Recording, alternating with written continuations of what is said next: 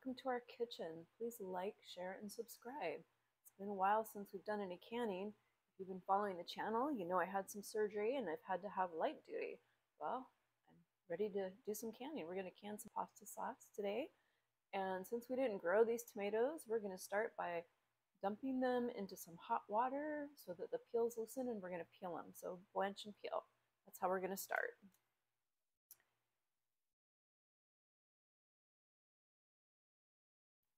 Start adding our tomatoes. I wash these.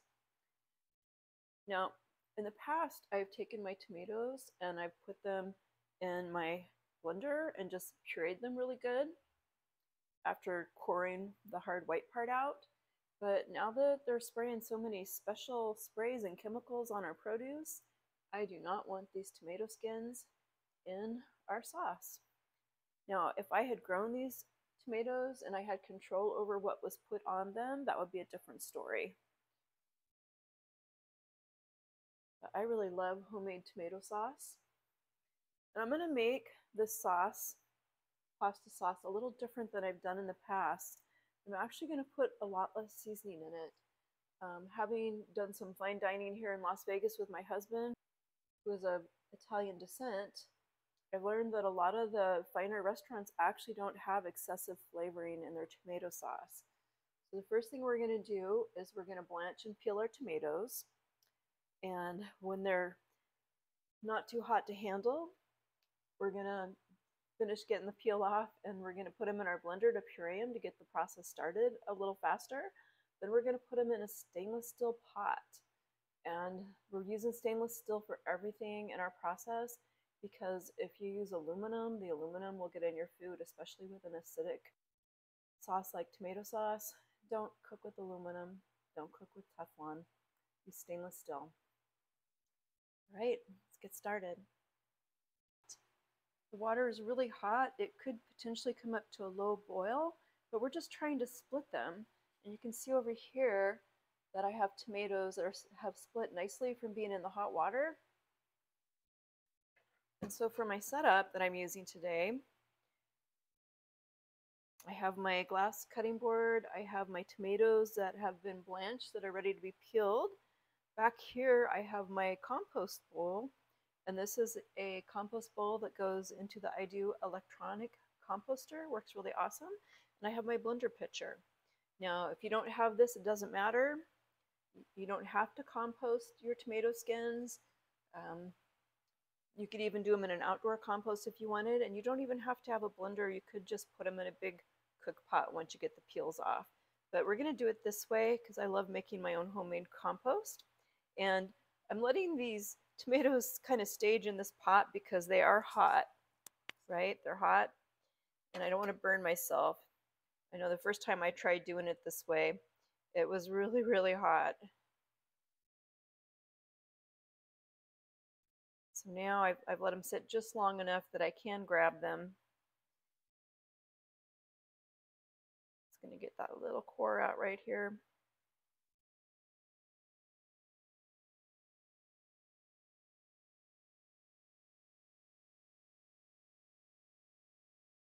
And then once we puree them, we're going to stick them in our stock pot.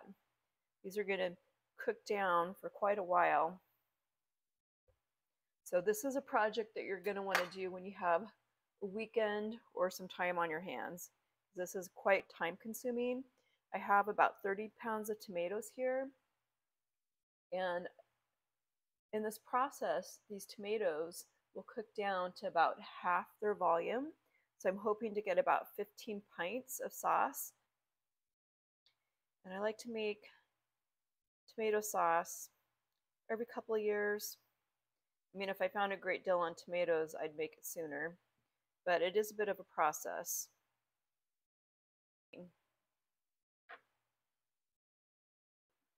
I'm using Roma tomatoes, and those probably aren't the most perfect paste tomatoes, but with how prices are in this country, just buy what you can afford that's on sale. That's what I'm doing. So we have some tomatoes ready now in our blender.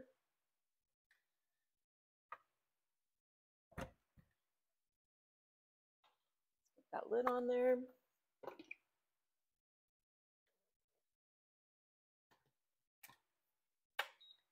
And I did fill that up quite a ways, but we'll just do custom blend to start.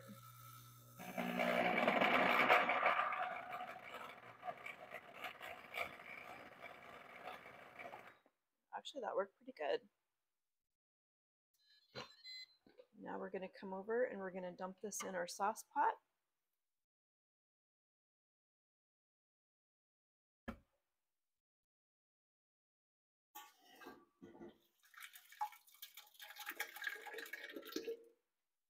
And this is a big burner. Let's get it turned on.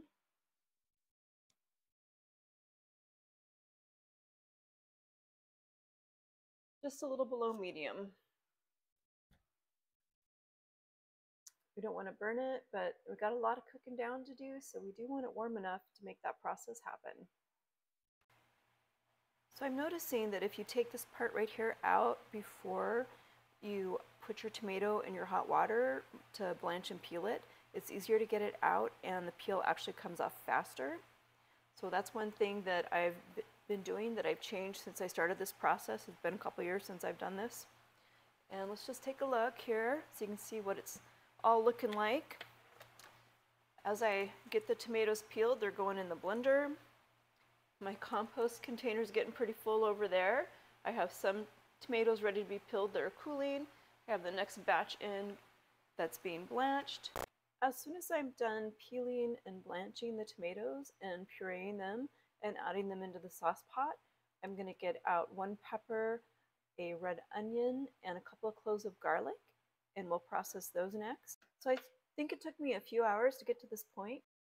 And you can see we've got a pot full of tomato puree that's cooking down. We have a bucket full of tomato peels for compost. And I have a few more tomatoes left in here. I'm gonna chop up these bell peppers, actually one bell pepper, one red onion, and two cloves of garlic. And I'm gonna pray that with the three tomatoes that are left, and we're gonna add it to this pot. Then we're gonna let this tomato mixture cook down until it's like 50% of the volume that is right now. And then at that point, we're actually going to push it all through a sieve to get rid of any seeds. So this has been cooking down for about an hour. Let's come and take a look at it so you can see how it looks. It's really nice and thick. And now we're ready to strain some of our seeds out. Let's go ahead and get some of this strained out using the colander. It might be easier while there's a little more liquid content. And this is a really cool trick so this is a very cool colander. You can get them with a stand, but I find that with this nice little hook, it just hooks on your pot and you don't need a stand. So I'm gonna turn this burner off for the moment.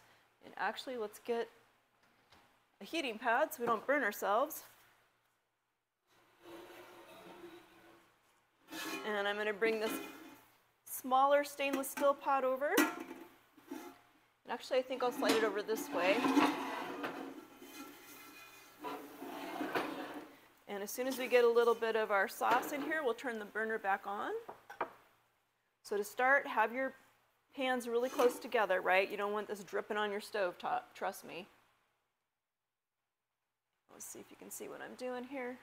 We're just literally gonna run our sauce through this colander and we're gonna keep doing this until we get a little buildup.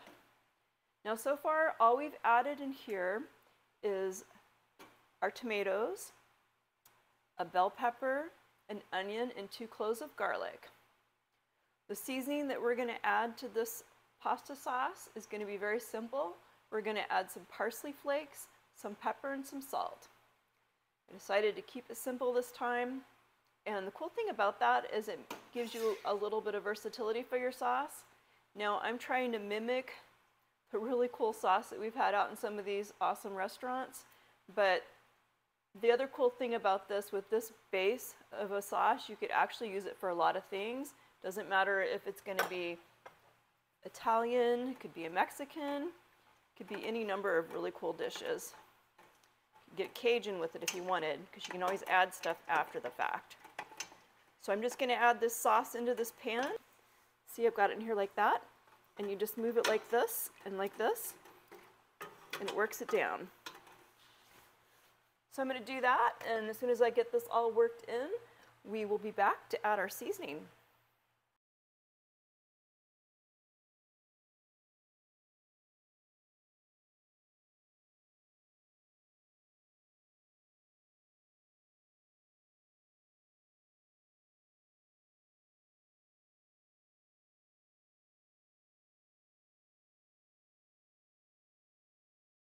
We are at the point in which our efforts are paying off. It's time to get the sauce in the jars. So I have a canning funnel here. Definitely going to be our friend. Turn this off. Got the heat on under our pressure canner. Definitely use a pressure canner for this. The sauce is nice and thick and we're going to ladle it into our jars. I'm going to leave about an inch of headspace because I'm also going to add two tablespoons of vinegar. Apple cider vinegar is great for this, flavor-wise. So excited for this sauce. And my, my, hu my husband had a, you want to come tell him? My husband had a taste test. Let's see what the Italian in the household thinks about this sauce. That's a ragu. Oh, come over here so That's they can like my grandma's. come over here so they can hear you, sweetie. Okay, here, let me take. Well, I have to see. Here, here. Well, get a spoon. Get a oh, spoon. Oh, yeah, yeah, yeah. All right, he's gonna get a, he's gonna get a spoon. Are you doing the video? Yeah. Oh, okay. Yeah, here, yeah, yeah. You're gonna. Hi, Ron. He might be on. How about Parker? Uh-huh. Okay, ready? It might be hot. Be careful. Hot, hot. Wow, that's a, like uh, my grandma's. Very, very good. All right, let's That's get a hit. let's get the sauce in the jars. Get it in the jar, baby. It is really good. Though. Thank you.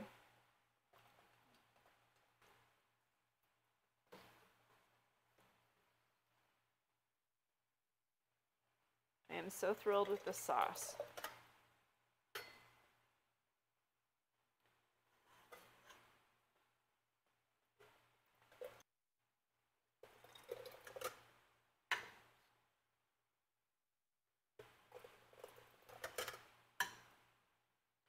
This is a lot of work, but there's a lot of satisfaction out of making it.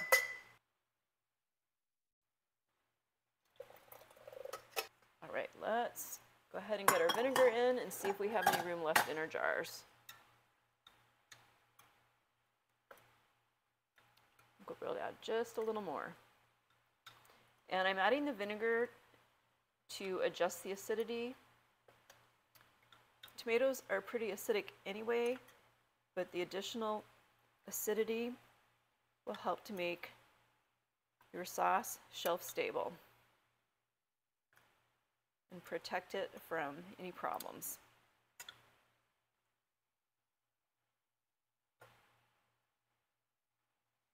So now I'm going to bring it up just to the bottom edge.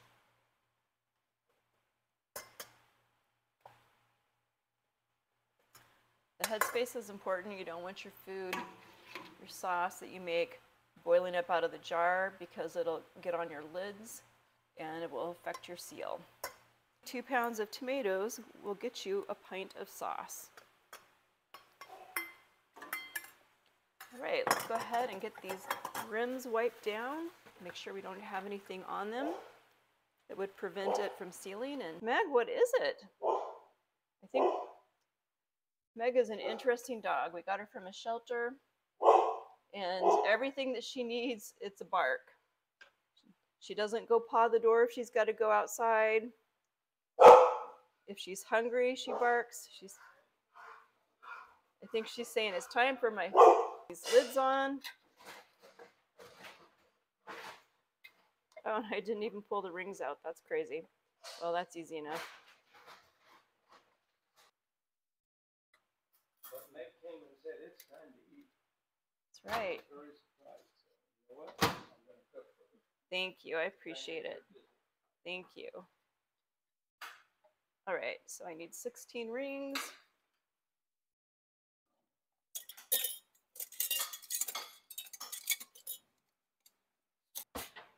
You know you're serious about canning when you have drawers dedicated to the whole task, right?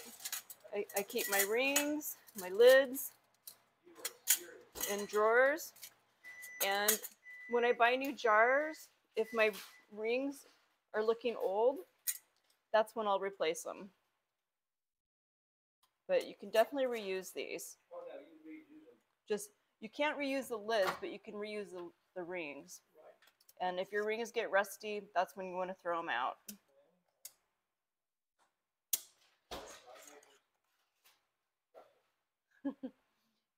He's trying to suck up to the dog if you're listening. Okay, let's get these jars in our pot. I love the regular mouth the best, but I use whatever jars I have.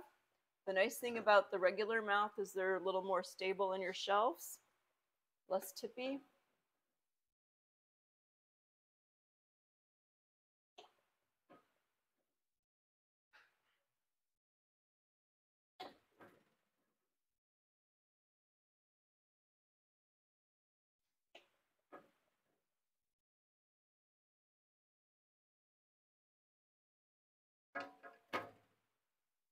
If you're serious about canning, definitely get yourself one of these.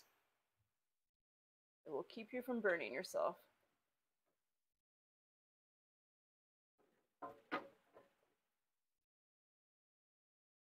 So I can actually fit 16 pints in this big pressure canner. This is a lot of work, but it's a lot of satisfaction. The great thing about jarring your own sauce is it doesn't have any preservative addit additives. They are completely unnecessary for safe canning. And the other thing about jars of sauce is there's no metal that's going to leach into your sauce, right? So you never, if you buy sauce in a can at the store, first don't. But if you do, if you ever had to for any reason, make sure you use it pretty quickly. All right, let's get this turned up. We're gonna let this blow steam for 10 minutes and we'll be back. Our timer is going off. Let's go ahead and add our rocker. Now we're gonna get this up to 15 pounds of pressure and this is a 15 pound rocker. So when that starts rocking, you know you got 15 pounds of pressure. And that's actually the best way to verify that your pressure is right. So I recommend using a rocker.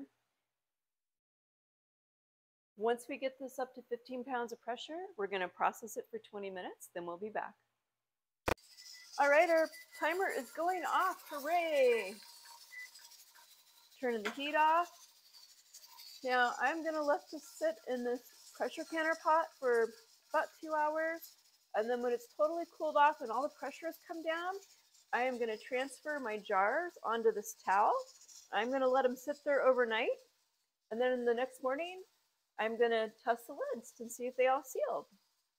I hope you enjoyed making pasta sauce with me today. And I will be sure to include the recipe in the description of the video. If you enjoyed this content, please like, share, and subscribe. Thank you.